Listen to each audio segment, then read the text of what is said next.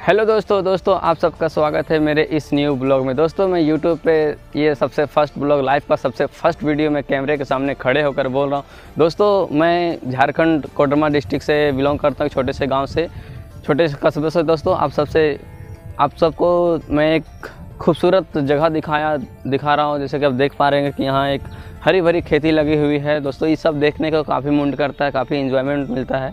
और दोस्तों, इस वीडियो को आप जितना से जितना शेयर करें और लाइक करें और सब्सक्राइब करें, ताकि मेरे हर एक वीडियो को सपोर्ट करें और मैं ऐसा ऐसा ब्लॉग बनाऊँ, जाकि आपका प्यार मिलता रहे मुझे। मिलता हूँ अगला वीडियो में।